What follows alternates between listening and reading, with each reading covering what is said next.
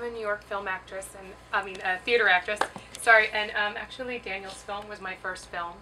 I've had some since then, but he he actually was my first director. Um, and it's funny because uh, the project almost got passed up, and he contacted me, and I was actually flying to LA that day from New York to shoot something else, and we met, and he showed me the script, and it was amazing, and I'm so glad that it didn't get passed up, and it was because um, when I read it, I really felt connected to the characters, and I understood what was going on, and I loved that Daniel had worked on the script for so long, because he he wanted it to be that abstraction, and he wanted it to be.